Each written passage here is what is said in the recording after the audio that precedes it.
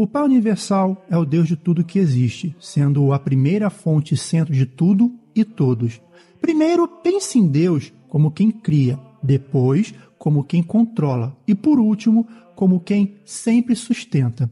O entendimento sobre o Pai Universal começou entre os humanos quando um profeta disse: Só você é Deus, não existe outro além de você. Você fez os céus e o espaço todo com tudo o que neles existe. E você cuida e comanda tudo.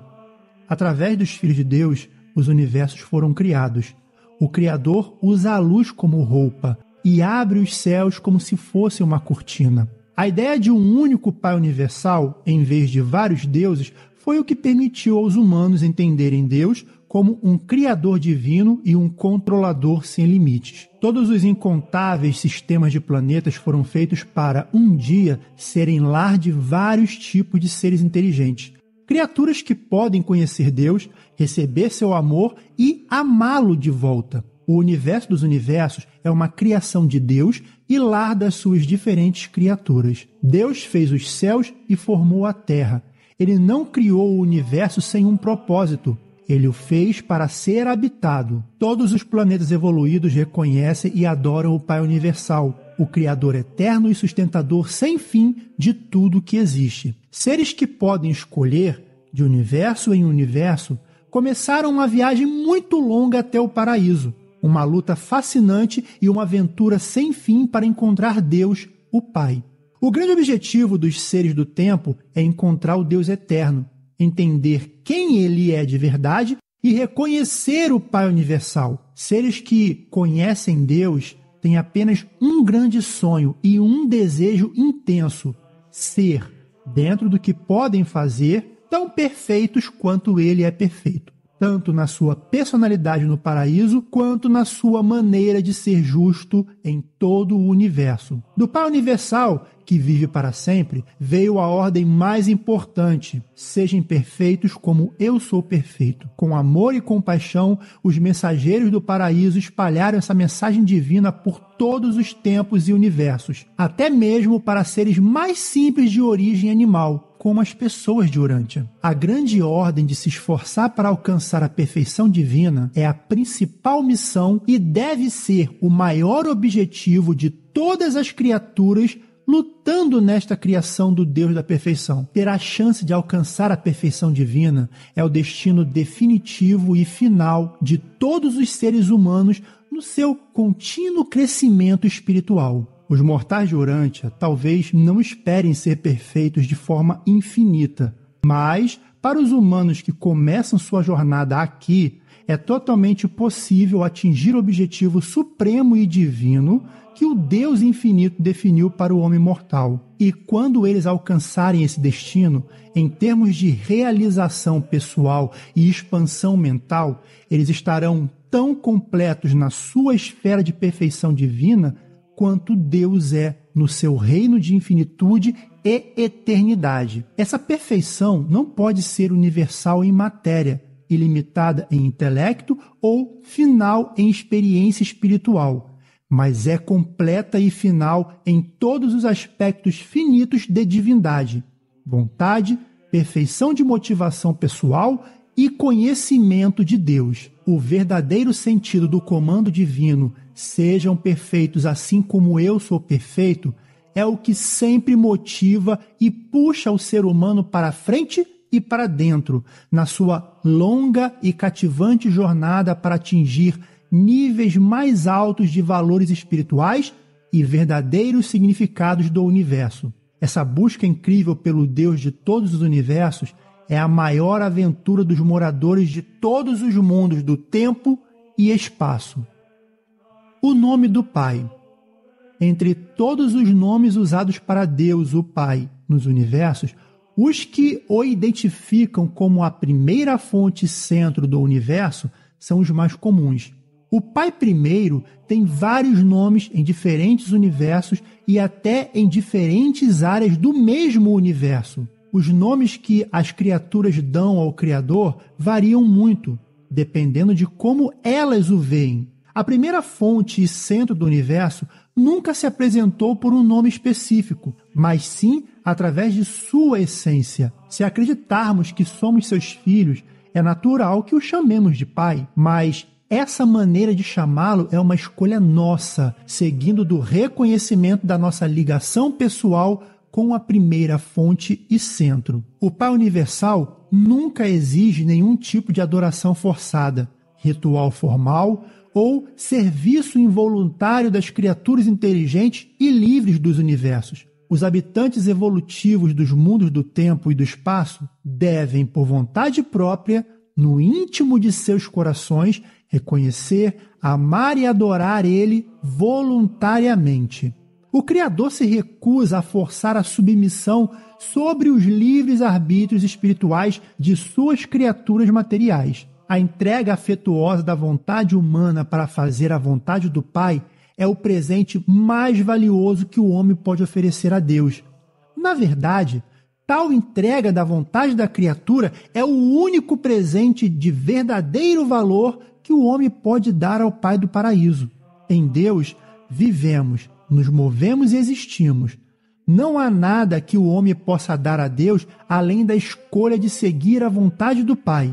E tal decisão, tomada pelas criaturas inteligentes e livres dos universos, é realmente a verdadeira adoração que satisfaz plenamente o Pai Criador, cuja essência de maior peso é o amor. Quando vocês realmente se conscientizarem de Deus, depois de descobrir a grandeza do Criador e sentirem e compreenderem a presença do controlador divino dentro de vocês, então conforme seu entendimento e conforme os filhos divinos revelam Deus, vocês encontrarão um nome para o Pai Universal que expressará adequadamente o seu conceito da primeira grande fonte e centro. E assim, em diferentes mundos e em vários universos, o Criador é conhecido por muitos nomes e todos significam a mesma coisa em termos de relação dos filhos com ele. No entanto, Cada nome representa um grau, uma profundidade de seu lugar nos corações das suas criaturas de um reino específico. Próximo ao centro do universo dos universos, o Pai Universal geralmente é conhecido por nomes que significam primeira fonte. Mais afastado, nos universos do espaço, os termos usados para o Pai Universal frequentemente significam o centro universal, e ainda mais longe, nesta criação de estrelas, como na sede central do seu universo local, ele é conhecido como a primeira fonte criadora e centro divino. Em uma constelação próxima, Deus é chamado de Pai dos Universos, em outra, de Sustentador Infinito, e mais para o leste, de Controlador Divino. Ele também foi nomeado Pai das Luzes, doador da vida e todo-poderoso único. Nos mundos onde um filho do paraíso viveu uma vida de doação de si mesmo, Deus geralmente é conhecido por um nome que indica uma relação pessoal, afeto ou devoção paternal. Na sede da sua constelação, todos referem-se a Deus como o Pai Universal. E nos diversos planetas do seu sistema local de mundos habitados, ele é conhecido de formas como Pai dos Pais, Pai do Paraíso, Pai de Avona e Pai Espírito. Aqueles que conhecem Deus através das revelações dos filhos do paraíso em suas missões aos mundos, sempre se rendem ao apelo emocional da relação íntima entre Criador e criatura, referindo-se a Deus como nosso Pai. Em um planeta de criaturas sexuadas num mundo onde o sentimento de paternidade é natural nos corações dos seus seres inteligentes, o termo pai se torna um nome muito expressivo e adequado para o Deus eterno. Ele é mais conhecido e universalmente reconhecido no seu planeta Urântia pelo nome de Deus. O nome que lhe é dado é menos importante. O essencial é conhecer-lhe e aspirar a ser como ele. Seus antigos profetas verdadeiramente o chamaram de Deus eterno e referiram-se a ele como aquele que habita a eternidade. A realidade de Deus. Deus é a verdadeira realidade no mundo espiritual, a fonte de verdade no mundo das mentes e protege todas as coisas no mundo material. Para todas as criaturas com inteligência, Deus é uma figura pessoal, e para todo o universo, ele é a primeira fonte e centro da realidade eterna. Deus não é humano, nem é uma máquina. O Pai é um espírito universal, a verdade eterna, a realidade infinita e uma pessoa paternal. O Deus eterno é muito mais do que uma ideia de realidade ou um universo personalizado. Deus não é apenas o desejo supremo dos humanos tornado realidade. Também não é apenas um conceito, a força da justiça. O Pai Universal não é um outro nome para a natureza, nem a personificação das leis naturais. Deus é uma realidade acima de tudo, não apenas um conceito tradicional de valores supremos. Deus não é uma invenção psicológica de significados espirituais, nem a melhor criação da humanidade. Na mente dos homens, Deus pode ser todas essas ideias e mais. No entanto, ele é mais. É um Salvador e um Pai amoroso para todos que encontram paz espiritual na terra e desejam a continuação da vida pessoal após a morte. A realidade da existência de Deus se mostra na experiência humana pela presença divina dentro do homem, o monitor espiritual enviado do paraíso para viver na mente do homem e ajudar no desenvolvimento da sua alma imortal e na sobrevivência eterna. A presença desse ajustador divino na mente se manifesta por três experiências. Um, a capacidade intelectual de conhecer Deus, a consciência de Deus.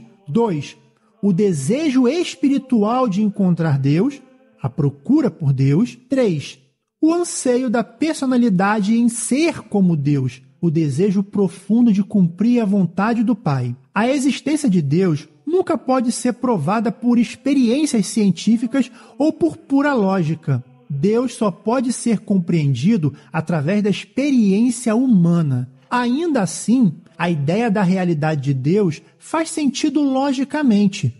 É aceitável filosoficamente, essencial religiosamente e crucial para a esperança de continuação da personalidade. Aqueles que conhecem Deus vivenciaram o fato da sua presença. Essas pessoas que conhecem Deus pessoalmente têm a única prova concreta da existência do Deus vivo que um ser humano pode oferecer a outro. A existência de Deus vai além de qualquer demonstração, exceto pelo encontro entre a consciência que a mente humana tem de Deus e a presença de Deus, o ajustador do pensamento que reside no interior mortal e é um presente do Pai Universal. Teoricamente, vocês podem pensar em Deus como Criador, pois ele é o Criador pessoal do paraíso e do universo central da perfeição. Mas os universos do tempo e espaço foram criados e organizados pelos filhos criadores do paraíso. O Pai Universal não é o criador pessoal do universo local de Nébadon. Esse universo onde vocês vivem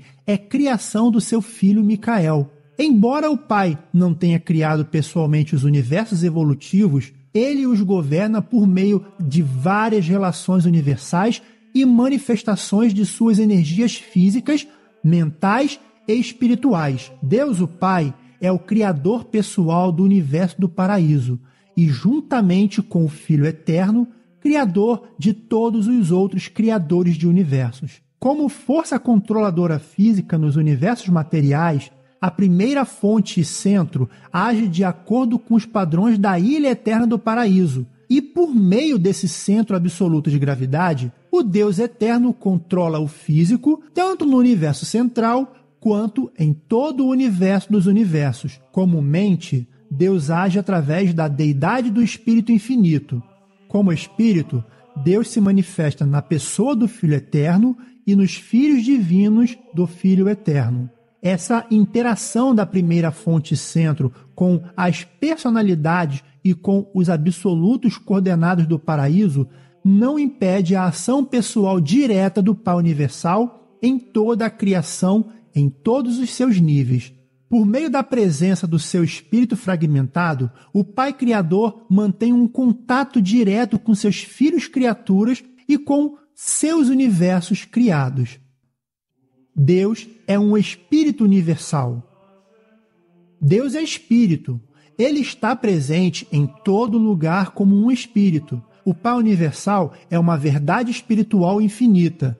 Ele é o Supremo, que nunca morre, invisível e o único Deus de verdade. Mesmo que vocês sejam os filhos de Deus, não devem imaginar que o Pai se pareça com vocês em corpo e aparência só porque se diz que foram feitos à sua imagem. Mas dentro de vocês vivem os guias divinos que vêm do lar central, da sua presença eterna. Seres espirituais são reais, apesar de não serem visíveis aos olhos humanos. Eles não são feitos de carne e osso. Um vidente antigo disse: Aí está ele passando por mim e eu não o vejo. Ele se move à minha frente, mas não o noto. Podemos sempre ver as ações de Deus. Podemos estar muito cientes das provas materiais do seu poder majestoso, mas raramente vemos a sua divindade com nossos próprios olhos, ou mesmo sentimos a presença do Espírito que ele enviou para morar nos homens. O Pai Universal não é invisível porque escolhe se esconder de seres mais simples com capacidades materiais e habilidades espirituais limitadas. A verdade é: vocês não podem ver meu rosto, pois nenhum mortal pode me ver e continuar vivo. Nenhum ser humano pode olhar para Deus, que é espírito, e manter sua vida mortal.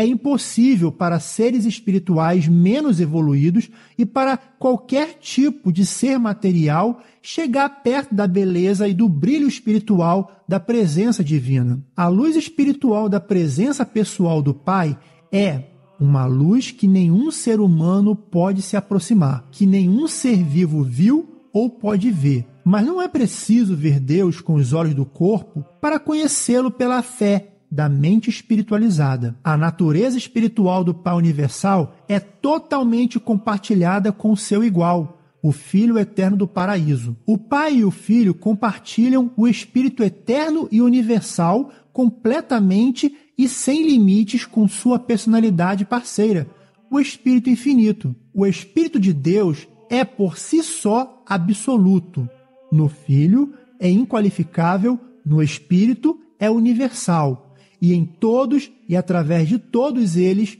é infinito. Deus é um Espírito que está em todo lugar. Deus é a pessoa que está em todo lugar. A realidade pessoal mais importante do mundo finito é o Espírito. A verdade final do universo pessoal é o Espírito que não é criado, é derivado, que é único porque não tem início nem fim. Só os níveis do infinito são completos. E só nesses níveis a matéria, a mente e o espírito têm um propósito único. Nos universos, Deus, o Pai, tem o potencial de ser o chefe supremo da matéria, da mente e do espírito. Ele interage diretamente com as personalidades das suas vastas criações através do grande circuito da sua própria personalidade. Ainda assim, fora do paraíso, ele pode ser encontrado nas presenças de seus fragmentos, a vontade de Deus nos imensos universos. Esses espíritos do paraíso, que vivem na mente dos mortais do tempo e ajudam a desenvolver na criatura que sobrevive uma alma imortal, é da mesma essência e divindade que o Pai Universal. Porém, como as mentes dessas criaturas evolutivas são dos universos locais, elas devem atingir a perfeição divina ao passar por mudanças de experiência e alcançar realizações espirituais. O que acontece naturalmente quando a criatura decide seguir a vontade do Pai nos céus. Na vida interior do ser humano, a mente está ligada à matéria, e mentes assim ligadas à matéria não podem sobreviver à morte do corpo. Seguir o caminho da sobrevivência significa mudar a mente mortal e ajustar a vontade humana de modo que essa inteligência, consciente de Deus, seja aos poucos ensinada e, por fim, guiada pelo Espírito. Essa transformação da mente humana, de sua conexão com a matéria para a união com o espírito, faz com que as qualidades potencialmente espirituais da mente mortal se tornem as realidades moronciais da alma imortal.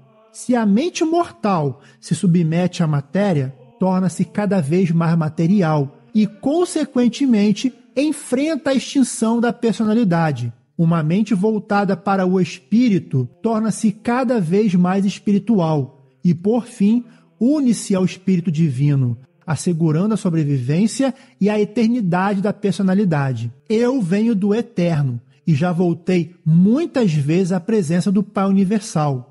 Conheço a realidade e a personalidade da primeira fonte centro, o Pai Eterno e Universal.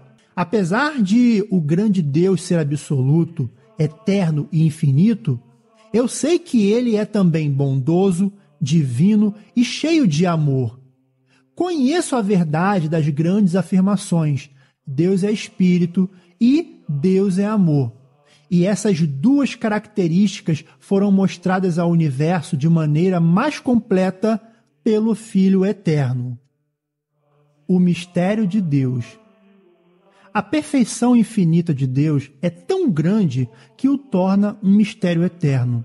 O enigma mais complexo sobre Deus é como ele pode viver dentro das mentes dos mortais. Como o Pai Universal pode estar presente com as criaturas do tempo é o maior mistério do universo. A presença de Deus na mente humana é o mistério dos mistérios. Os corpos dos mortais são casas de Deus, Embora os filhos criadores soberanos se aproximem das criaturas dos seus planetas com vidas, tentando chamar a atenção de todos e estejam prontos para entrar na vida de quem abrir seu coração, apesar dessa proximidade entre os filhos criadores e os mortais, os seres humanos têm de fato uma parte do próprio Deus vivendo dentro deles. Por isso, seus corpos são considerados casas de Deus. Quando sua jornada neste mundo terminar e sua vida temporária na Terra estiver completa, quando sua experiência de testes na carne acabar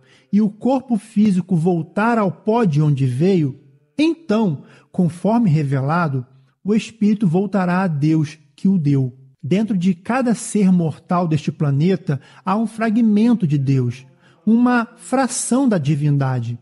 Esse fragmento ainda não é completamente seu, mas se você sobreviver além da vida mortal, o plano é que ele se una a você. Estamos sempre diante desse mistério de Deus, admirando como a verdade sobre sua bondade infinita, sua misericórdia sem fim, sua sabedoria sem igual e seu caráter supremo continua se revelando de formas sempre novas. O mistério divino está na diferença fundamental entre o limitado e o ilimitado, o temporário e o eterno a criatura limitada pelo tempo e espaço e o Criador universal, o material e o espiritual, a imperfeição humana e a perfeição divina no paraíso. O Pai de amor universal se mostra a cada um de seus seres até o limite máximo que eles podem compreender espiritualmente as qualidades de verdade,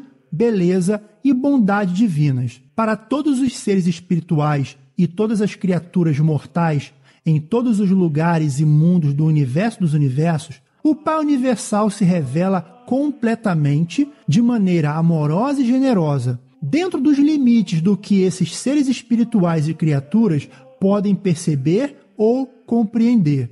Deus não tem favoritos, sejam eles espirituais ou materiais o nível de proximidade de qualquer filho do universo com a presença divina é determinado unicamente pela capacidade dessa criatura de receber e compreender as realidades espirituais além do material. Na vivência espiritual humana, Deus não é um mistério. No entanto, quando tentamos explicar as realidades espirituais para mentes focadas no mundo material, surgem mistérios tão complexos e profundos que somente a fé dos mortais conscientes de Deus pode fazer a ponte sobre o abismo filosófico entre o finito e o infinito, reconhecendo o Deus eterno, mesmo estando em evolução nos mundos materiais do tempo e espaço. A personalidade do Pai Universal. Não deixem que o quão grandioso e infinito Deus é faça com que vocês percam a noção de que ele tem personalidade. Como alguém que criou o ouvido não iria ouvir, ou quem fez o olho não veria, o Pai Universal é o maior exemplo de personalidade divina. Ele é a origem e o destino final da personalidade em toda a criação. Deus é ao mesmo tempo infinito e pessoal. Ele é uma personalidade sem fim. O Pai é realmente uma personalidade, embora a imensidão de quem ele é possa ser difícil de entender completamente para seres materiais ilimitados. Deus é muito mais que uma personalidade do jeito que entendemos a personalidade. Ele é ainda mais do que qualquer ideia avançada de superpersonalidade. No entanto, não adianta tentar explicar um conceito tão difícil como a personalidade divina para seres materiais cuja maior compreensão sobre a realidade se baseia na ideia e no ideal de personalidade. O entendimento mais profundo que um ser material pode ter sobre o Criador universal está nas ideias espirituais de uma concepção elevada da personalidade divina. Então, mesmo sabendo que a personalidade de Deus é algo além do que podemos imaginar, vocês também podem ter certeza de que o Pai Universal não é nada menos que uma personalidade eterna, infinita, verdadeira, boa e bela. Deus não está se escondendo de suas criaturas. Ele parece distante para muitos apenas porque mora numa luz que nenhuma criatura material pode chegar perto. A imensidão e a majestade da personalidade de Deus são difíceis de serem entendidas pela mente limitada dos mortais que estão evoluindo. Ele segura as águas nas conchas das suas mãos e mede o universo com a palma da mão. É ele que senta sobre a curva da terra, estende os céus como uma cortina e os desdobra como um universo para habitar. Olhem para o alto e vejam quem criou todas essas coisas, quem traz à existência seus mundos e os chama pelo nome. E é verdade que as coisas invisíveis de Deus são compreendidas pelas coisas que ele criou. Agora, e na fase em que estão, devem reconhecer o Criador invisível através das suas várias criações e também pela revelação e ajuda dos seus filhos e dos muitos que trabalham com eles. Mesmo que os seres materiais não possam ver Deus pessoalmente, devem ficar felizes por saber que ele tem uma personalidade. Pela fé, devem acreditar que o Pai Universal ama tanto o mundo que proporcionou um caminho para o crescimento espiritual eterno até de seus habitantes mais simples, que ele se alegra com seus filhos. Deus possui todos os atributos divinos e super-humanos que fazem uma personalidade criadora perfeita, eterna, amorosa e infinita. Nas criações locais, exceto para o pessoal dos superuniversos, Deus não se manifesta pessoal ou diretamente, a não ser por meio dos filhos criadores do paraíso, que são os pais dos mundos habitados e os governantes dos universos locais. Se a fé de alguém fosse perfeita, essa pessoa saberia com certeza que, ao ver um filho criador, estaria vendo o Pai universal. Na busca pelo Pai, não deveria esperar ver algo além do filho. O ser humano comum não pode ver Deus. Isso só é possível após uma transformação espiritual completa e, de fato, somente ao alcançar o paraíso. Os filhos criadores do paraíso não possuem todos os potenciais ilimitados da absoluta universalidade da natureza infinita da primeira fonte e centro. Mas o Pai Universal está, de todas as formas, divinamente presente nos filhos criadores. O Pai e seus filhos são um.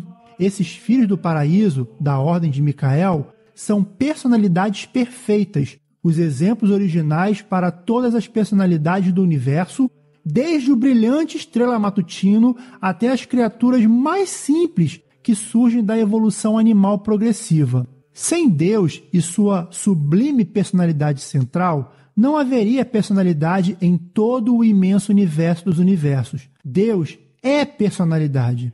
Embora Deus seja um poder eterno, uma presença majestosa, um ideal transcendental, um espírito glorioso e muito mais, ele é também sempre uma personalidade perfeita do Criador, uma pessoa que pode conhecer e ser conhecida, que pode amar e ser amada, e que pode oferecer amizade a nós. Assim, você pode ser reconhecido como outros humanos foram como amigo de Deus. Ele é um espírito verdadeiro e uma realidade espiritual.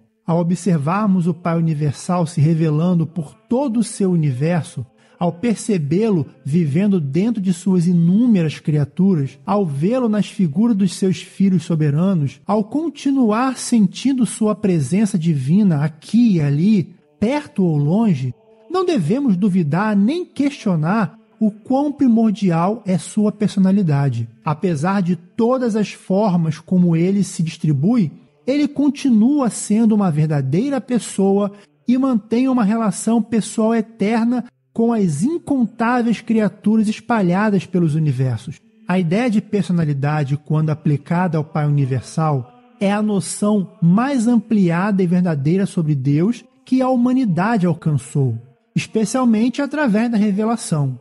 A razão, a sabedoria e a experiência religiosa sugerem a personalidade de Deus, mas não a comprovam definitivamente. Até mesmo o ajustador do pensamento interno é pré-pessoal. A verdade e a maturidade de qualquer religião são proporcionais ao seu entendimento da personalidade infinita de Deus e à sua percepção da unidade absoluta de Deus. Portanto, a ideia de um Deus pessoal é ao mesmo tempo uma medida de maturidade religiosa e a base para formular o conceito da unidade de Deus. As religiões primitivas tinham muitos desses deuses pessoais, criados à imagem do homem.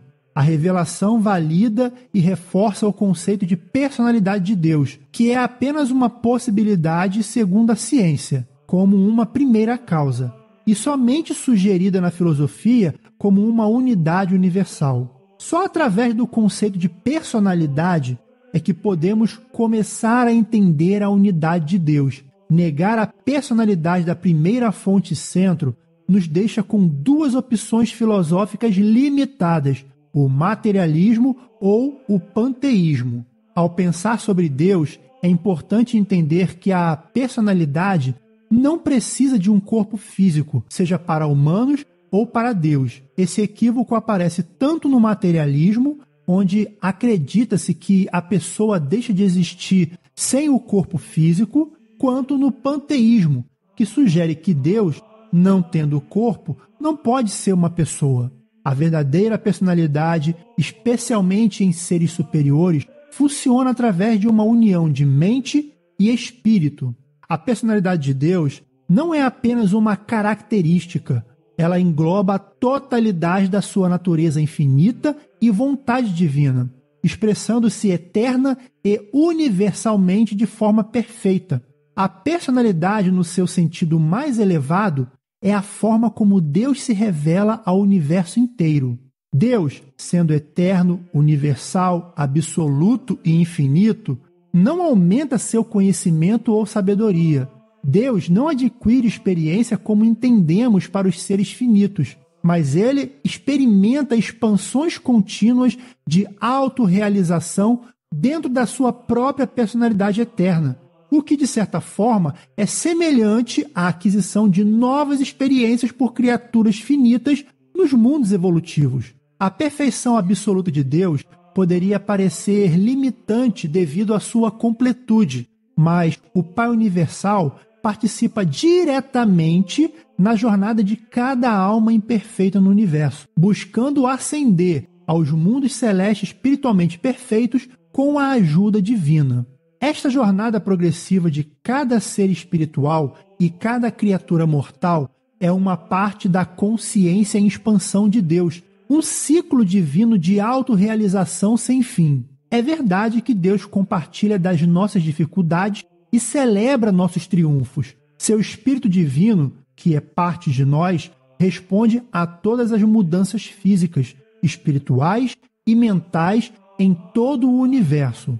O Pai Universal está plenamente consciente de todas as experiências individuais de luta, expansão mental e ascensão espiritual de cada entidade, ser e personalidade na criação evolutiva do tempo e do espaço. E isso é verdade porque nele vivemos, nos movemos e existimos. A personalidade no universo. A personalidade humana é como uma imagem, uma sombra projetada pela personalidade divina criadora.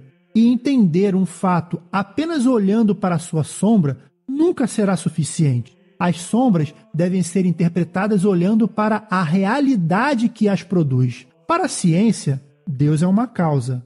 Para a filosofia, uma ideia. E para a religião, uma pessoa ou até mesmo um Pai celeste amoroso. O cientista vê Deus como uma força primordial, o filósofo como uma hipótese de unidade e o religioso como uma experiência espiritual viva. A visão limitada que o homem tem da personalidade do Pai Universal só pode ser melhorada pelo progresso espiritual do homem no universo. E essa compreensão só se tornará plenamente adequada quando os peregrinos do tempo e do espaço finalmente encontrarem o Deus vivo no paraíso. Não esqueçam dos dois pontos de vista opostos sobre a personalidade, como Deus a concebe e como o homem a vê. O homem entende personalidade olhando do finito para o infinito. Deus vê do infinito para o finito. O homem tem a forma mais simples de personalidade. Deus, a mais elevada, suprema, última e absoluta. Assim, as melhores ideias sobre a personalidade divina só puderam emergir com o desenvolvimento de conceitos mais evoluídos sobre a personalidade humana, especialmente através da revelação da personalidade humana e divina na vida de Jesus em Urântia, que foi uma vida de auto-outorga de si mesmo como um filho criador. O espírito divino pré-pessoal que habita na mente dos mortais já é, por sua presença, uma prova de sua realidade. Mas entender a personalidade divina só é possível por meio da percepção espiritual interna, na verdadeira experiência religiosa. Qualquer pessoa, seja humana ou divina, pode ser conhecida e compreendida mesmo sem a necessidade de reações externas ou presença física. Para haver amizade entre duas pessoas, é essencial uma certa compatibilidade moral e sintonia espiritual. Uma personalidade amorosa dificilmente se revelará a alguém incapaz de amar. Do mesmo modo, para entender melhor uma personalidade divina, é necessário dedicar completamente todos os aspectos da personalidade humana a essa busca. Um esforço meio dedicado não trará resultados. Quanto mais o homem entende a si mesmo e valoriza a personalidade nos seus semelhantes, mais desejará conhecer a personalidade original e mais honestamente tentará imitá-la. As discussões sobre Deus podem ser baseadas em opiniões, mas a experiência com ele transcende qualquer debate ou lógica. A pessoa que conhece Deus compartilha suas experiências espirituais não para convencer os incrédulos, mas para fortalecer e alegrar aqueles que já acreditam. Acreditar que o universo pode ser compreendido implica que foi criado e é administrado por uma mente, por uma personalidade. Apenas a mente humana pode reconhecer o fenômeno mental em outras mentes, humanas ou superiores. Se a personalidade humana pode experimentar o universo, então existe uma mente divina e uma verdadeira personalidade em algum lugar do universo. Deus é espírito, uma personalidade espiritual. O homem também é um espírito, potencialmente uma personalidade espiritual. Jesus de Nazaré realizou plenamente o potencial da personalidade espiritual na experiência humana. Portanto, sua vida, cumprindo a vontade do Pai, é a manifestação mais real e ideal da personalidade de Deus. Embora a personalidade do Pai Universal só possa ser entendida por meio de uma experiência religiosa verdadeira, a vida terrena de Jesus nos inspira ao mostrar de forma perfeita essa realização e revelação da personalidade de Deus numa experiência genuinamente humana o valor espiritual do conceito de personalidade. Quando Jesus falou sobre o Deus vivo, ele estava se referindo a uma deidade pessoal, o Pai Celeste. Pensar em Deus como uma pessoa facilita a amizade, torna o culto mais significativo e encoraja uma confiança plena. Embora objetos não pessoais possam interagir, a amizade verdadeira só acontece entre pessoas, assim como a relação entre um pai e um filho, ou entre Deus e o homem, só pode ser aproveitada se ambos forem pessoais. Somente personalidades podem se relacionar de forma tão íntima, embora essa comunicação possa ser ajudada pela presença de algo tão impessoal quanto o ajustador do pensamento. A união do homem com Deus não acontece como uma gota d'água se fundindo ao oceano. Essa união divina vem através de uma comunhão espiritual progressiva e recíproca, uma relação entre a personalidade do homem e Deus. Isso acontece conforme o homem se alinha cada vez mais com a natureza divina, buscando com todo o coração viver de acordo com a vontade de Deus, uma relação tão profunda só pode existir entre personalidades. O conceito da verdade pode ser considerada sem pensar em personalidade. A beleza também pode ser entendida sem ela, mas a ideia da bondade divina só faz sentido quando relacionada à personalidade. Só uma pessoa pode amar e ser amada.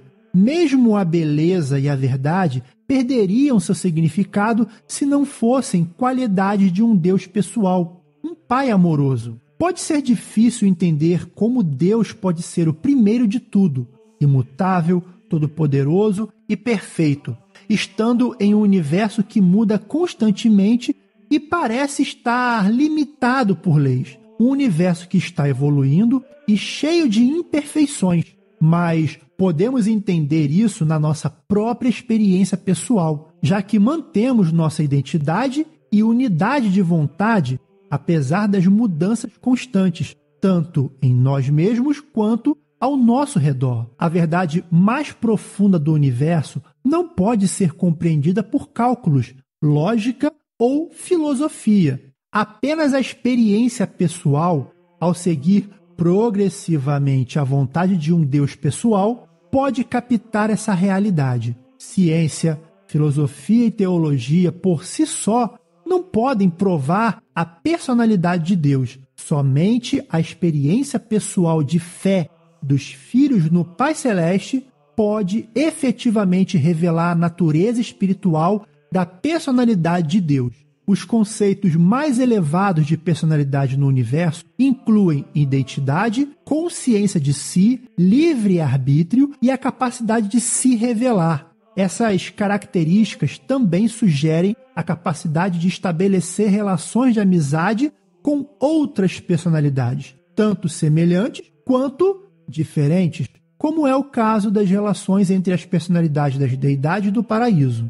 A unidade absoluta dessas relações é tão completa que a divindade é reconhecida pela sua indivisibilidade e unidade. O Senhor Deus é um. Essa indivisibilidade da personalidade não impede que Deus compartilhe seu espírito com os seres humanos. Da mesma forma, a indivisibilidade da personalidade de um pai humano não impede de ter filhos e filhas. A ideia de indivisibilidade, junto com o conceito de unidade, leva à transcendência do tempo e do espaço pela ultimidade da deidade, fazendo com que nem o espaço nem o tempo possam ser considerados absolutos ou infinitos. A primeira fonte e centro é a infinitude que transcende totalmente a todo tipo de mente, matéria e espírito. A existência da Trindade do paraíso não contradiz a ideia de uma unidade divina. As três personalidades divinas do paraíso atuam unidas em todas as suas interações com o universo e com todas as criaturas. E a presença dessas três eternas personalidades também não vai contra o conceito de que a deidade é indivisível. Eu sei que não tenho palavras suficientes para explicar claramente à mente mortal como essas questões do universo parecem para nós, mas vocês não devem perder o ânimo. Até para seres elevados do meu grupo no paraíso, nem tudo é completamente claro. Lembre-se de que os mistérios sobre a deidade se tornarão progressivamente mais compreensíveis à medida que suas mentes se espiritualizarem ao longo das inúmeras fases da longa jornada mortal rumo ao paraíso. Agora, uma música baseada no documento 1 do livro de Urântia, feita com todo carinho para você.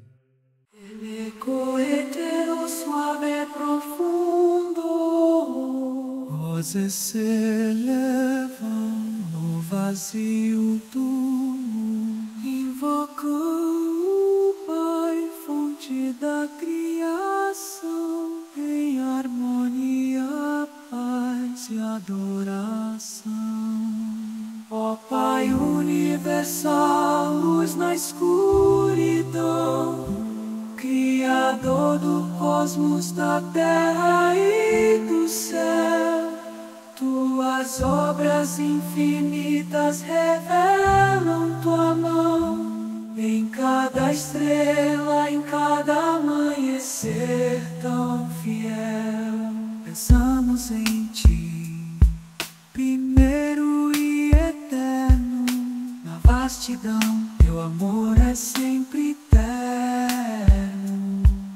que acolhe, aquece e nos faz renascer. Tua presença desejamos permanecer. Em tua presença desejamos permanecer.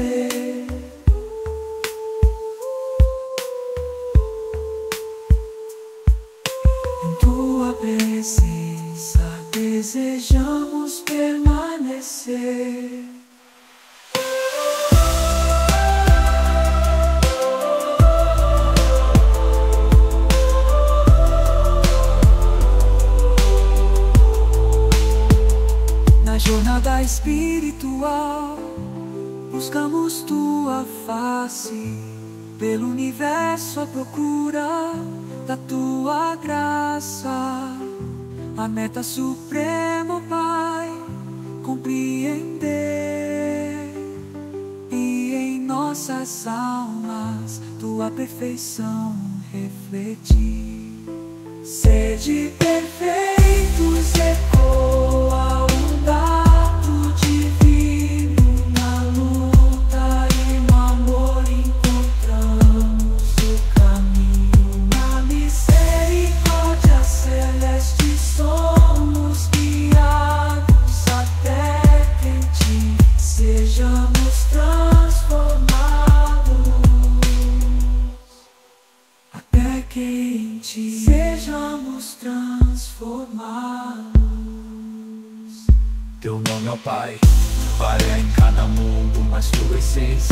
Amor profundo, nos une a ti em laços eternos, Pai dos universos, dos céus tão ternos.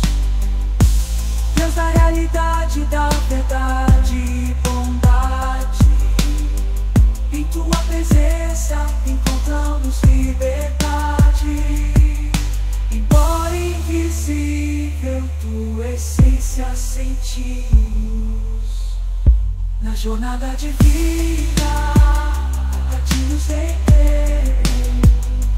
De nos jornada divina, a ti nos no mistério sagrado da divindade, encontramos nossa identidade, assim como ti.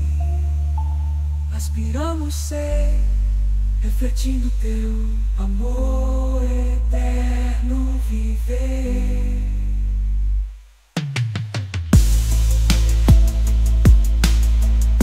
Eterno viver.